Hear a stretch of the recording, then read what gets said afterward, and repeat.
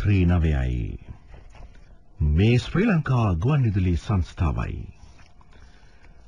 මෙන්න ප්‍රවෘත්ති ප්‍රකාශය ඥානින්ද පෙරේරා විසින්. මාතෘභූමියට ආදරය කරන මෙරට තරුණ පරපුර කුඩිතස්තවාදය අවසන් කිරීමට උරදුන් බව ජනාධිපතිතුමා පවසයි. ආරක්ෂිත කලාපයේ ඊශානදික කොටසට තවදුරටත් ආසන්න වෙමින් ආරක්ෂක හමුදාව ඒ 35 මාර්ගයේ වෙල්ලමුල්ල වයිකාලී පාලමට තවදුරටත් සමීප වෙති. කොටි ත්‍රස්ත ග්‍රහණයෙන් මිදී තවත් 3000කට අධික පිරිසක් රජයේ පාලන ප්‍රදේශ වෙත මේ දක්වා පැමිණි සංඛ්‍යාව 70000 ඉක්මවයි.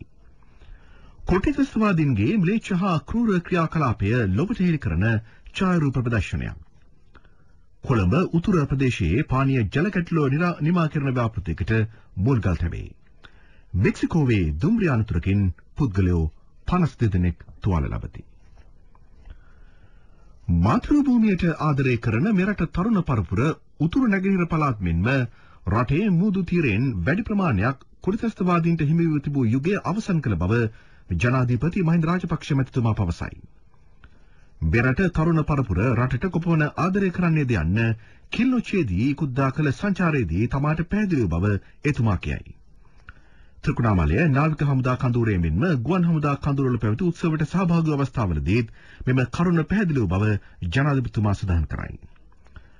ලක්ෂ ගණන් තරුණයින් හමුදාවට බැඳෙන්නේ ඔවුන්ට වෙනත් රැකියා අවස්ථා සොයා ගැනීමට නොහැකි හේතු වෙන්න නොවේ.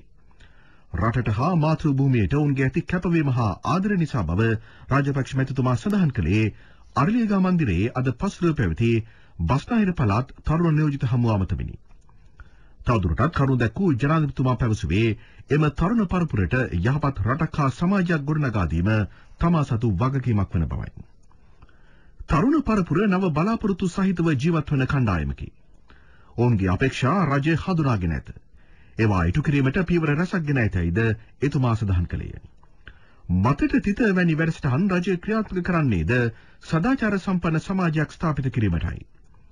රටේ සියලු දෙනාට බියෙන් සැකෙන් තොරව ජීවත් ව හැකි රටක් උදා කර දීම සිය අරමුණ බවද ජනාධිපතිතුමා පෙන්වා දුන්නේ. කිසිදු රටක හෝ කණ්ඩායමක කොන්දේසියට යටත්ව ජීවත් වීමේ අවශ්‍යතාවක් නැතයි කී ජනාධිපතිතුමා එහෙත් එවැනි උමනාවක් තිබෙන කොටස්ද රට තුළ සිටින බව පෙන්වා දුන්නේ. මේ අවස්ථාවට මෛත්‍රීපාල සිරිසේන, රාජිත සේනාරත්න, දුමින්ද දිසානායක යන ඇමතිවරුද සහභාගී වූහ. ආරක්ෂක හමුදාව මුලතිව් පරන්තන් නේතිස් පහ මාර්ගයේ වෙල්ලමුල්ල වයිකාල් ප්‍රදේශයේ ආස්තෝ පිහිටුවා ඇති පාලමට තවදුරටත් සමීප වෙති. ඒ අනුව 53 හා 58 වන සේනාංකවල රණවිරුවන්ට ඊට ළඟා වීමට තවත් ඇතේ මීට 700ක් වැනි කෙටි දුරක් පමණක් බව ආරක්ෂක අමාත්‍යාංශය පවසයි. මෙම පාලම කුරිතස්තවාදීන් මානුෂික පලියක් වශයෙන් බලහත්කාරයෙන් සීල්වැසියන් රඳවාගෙන සිටින පටු බිම් තීරයේ ඊසාන දෙක කොටසට ප්‍රවේශුම් ඇති මාර්ගයේ බවද ආරක්ෂක අමාත්‍යාංශය සඳහන් කරයි. ඊ රාත්‍රියේදී මෙසේ ආරක්ෂකාංශ වෙල්ලමුල්ල වයිකාලී පාලමට ළඟා වී තිබේ. එෙහිදී ආරක්ෂකාංශය එල්ල කළ ප්‍රහාර වලින් කුඩිතස්තවාදීෝ 17 දෙනෙක් මරුමුවට පත් වූහ. තවත් 22 දෙනෙකු තුවාල ලැබූ බව ආරක්ෂක හමුදාව ඔවුන්ගේ පණිවිඩ හුමාරුවට සවන් දීමෙන් තහවුරු විය. පසුව එහි සිදු කළ සෝදිසි මෙහෙයුම්වලදී T56 ගිනියව ඇතුළු කුඩිතස්වාදීන්ගේ උපකරණ රැසක් සොයාගැනීම. ආරක්ෂක හමුදා ප්‍රහාරයකින් කුඩිතස්වාදීහු තිදෙනෙක් මරුමුවට පත්වෙති. සංගවී සිටි මෙම ත්‍රස්තවාදීන් බටහිර ඕමන්ත්‍රීය ප්‍රදේශයේදී අද පෙරවරු 6ට පමණ මෙම ප්‍රහාරයට ගොදුරු බව හමුදා මුලස්ථානයේ පවසයි. පසුව එහි සිදු කළ සෝදිසි මෙහෙයුමකදී කොටි සමාජිකින් තිදෙනාගේ සිරුරුද T56 ගිනියවි පහක් සහ අත්බොම්බ 6ක් ඇතුළු තවත් උපකරණ රසක් හමු වී තිබේ.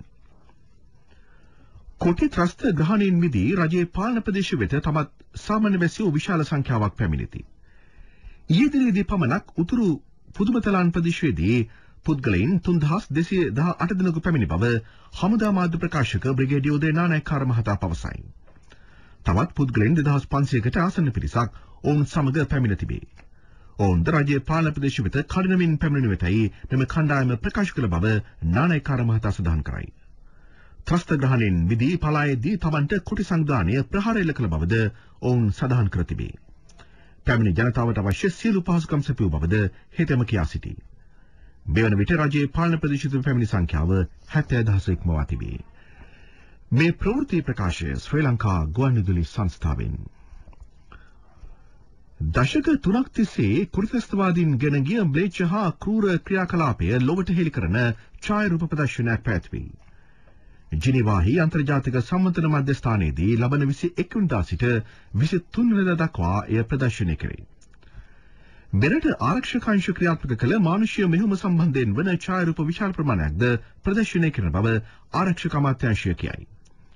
විදෙස් මාධ්‍යකරුවන් මෙන්ම අන්තර්ජාතික ප්‍රවෘත්ති ඒජන්සි ලබාගත් ඡායාරූප රසක්ද මෙහිදී දැකගත හැකි බව අමාත්‍යාංශය කියයි. විදේශ කටයුතු අමාත්‍යාංශය ජනාධිපති මාධ්‍ය ඒකකය එක්සත් ජාතීන්ගේ සංවිධානයේ ජිනීවාහි පිහිටි මෙරට නිත්‍ය නියෝජිත කාර්යාලය ප්‍රදර්ශනය සංවිධානය කරයි. කොටි ත්‍රස්ත හිතවත් කණ්ඩායම් වලට ලන්ඩන් නගරයේ උද්ඝෝෂණ පැවැත්වීමට ඉඩ නොදෙන්නයි ඒ සිටින ශ්‍රී ලාංකිකයෝ ලන්ඩන් නගරාධිපතිවරයාට දන්වා සිටී. ලන්ඩන් නගරාධිපති බොරිස් ජොන්සන් මහතා වෙත ලිපියක් යවන එක්සත් ජාතීන්ගේ සිංහල සංවිධානයේ සභාපති ඩග්ලස් වික්‍රමරත්න මහතා පවසන්නේ කොටි සංවිධානය ත්‍රස්ත සංවිධානයක් ලෙස බ්‍රිතාන්‍ය තහනම් කර ඇති බවයි. එවැනි පසුබිමක් තුළ ත්‍රස්තානුගාමිකයින්ට උද්ඝෝෂණ පැවැත්වීමට ඉඩ දීම බ්‍රිතාන්‍ය නීතිය පවා උල්ලංඝනය කරන්නක් බව එම සංවිධානය පෙන්වා දෙයි. ශ්‍රී ලාංකීය ජනතාව ලන්ඩනයේද සාමකාමීව සිටින බව පවසන වික්‍රමරත්න මහතා කොටි ත්‍රස්ත කටයුතු වලට කිසිසේත් ඉඩ නොදෙන්නයි ලන්ඩන් නගරාධිපතිවරයාට දැනුම් දෙයි. කොළඹ උතුර ප්‍රදේශයේ පානීය ජල ප්‍රශ්නයට විසඳුම් ලබා දෙන දැවැන්ත ජල සම්පාදන ව්‍යාපෘතියකට මුල්ගල් තැබෙයි. බියගමදී අද එය උත්සවාකාරයෙන් සිදුවිය. ඇමති මහින්ද අමරවීර මහතා ඒ ප්‍රධාන ආරාධිතයා විය. වැකර මුදල රුපියල් කෝටි 600කි. මහර රාගම ජායල කඳන ඇතුළු ප්‍රදේශ රසකට මින් සිත සැරසේ. අමතලේ ජල සම්පාදන ව්‍යාපෘතියට සමගාමී ව්‍යාපෘතියක් ලෙස මෙය ක්‍රියාත්මක වෙයි. ඉදිකිරීම ලබන වසරේ අගෝස්තු මාසයේ වන විට නිම කිරීම අපේක්ෂාවයි. මෙම ව්‍යාපෘතියෙන් කොළඹ නගරයේ අඩු පීඩන ජල සැපයුම් පවතින ප්‍රදේශවලට ජල සැපයුම විධිමත් කිරීමට නියමිතයි. ඉන්දිය ප්‍රීමියර් ලීග් තරගාවලියේ කිංස් 11 පංජාබ් කණ්ඩායමට එරෙහිව අද පැවති තරගෙන් දිල්ලිඩියා ඩෙවිල්ස් කණ්ඩායම ජයත් කරගනී. වර්ෂාවෙන් බාධා පැමිණීම හේතුවෙන් තරගය පන්දු ඕවර 12කට සීමා කෙරිනේ. ප්‍රමාද වී ආරම්භ වූ තරගයේ ප්‍රථමයෙන් පන්දුර පාර දුන්නේ කිංස් 11 පංජාබ් පිලයි. කඩලු හතක් දැවී නියමිත පන්දු වාර 12 අවසානයේදී ඔවුන් ලකුණු 104ක් රැස් කළේය. කෙසේ වෙතත් නැවතත් වර්ෂාවෙන් බාධා සිදුවිය. පිළිතුරු ක්‍රීඩා කළ දිල්ලි ඩෙවිල්ස් පිළ පන්දු වාර 4යි පන්දු 5කදී ලකුණු 58ක් රැස් කළේය. ඩක්වත් ලුවිස් ක්‍රමයට තරගයේ ජය තීරණය කෙරිනේ. තරගය පැවැත්වුණේ දකුණු අප්‍රිකාවේ කේප් ටවුන් හිදිය. යලි සිරස්තල. මාතෘභූමියට ආදරය කරන මෙරට තරුණ පරපුර කොරිතස්තවාදය අවසන් කිරීමට උරදුන් බව ජනාධිපතිතුමා පවසයි. ආරක්ෂිත කලාපයේ ඊසාන දෙක කොටසට තවදුරටත් ආසන්න වෙමින් ආරක්ෂක හමුදාව වූ ඒ 35 මාර්ගයේ වෙල්ලමුල්ල වයිකාලි පාලමට තවදුරටත් සමීප වෙති. කොටි ත්‍රස්ත ගහනින් මිදී තවත් 3000කට අධික පිරිසක් රජයේ පාලන ප්‍රදේශ වෙත මේ දක්වා පැමිණි සංඛ්‍යාව 70000 ඉක්මවයි. කොටිතස්වාදීන්ගේ ම්ලේච්ඡ හා ක්‍රූර ක්‍රියාකලාපය ලොවට හෙළි කරන ඡායාරූප ප්‍රදර්ශනයක්. කොළඹ උතුර ප්‍රදේශයේ පානීය ජල ගැටලු නිමා කරන ව්‍යාපෘතියකට මුල්ගල් තැබේ. ලෝක ප්‍රවෘත්ති මිලඟට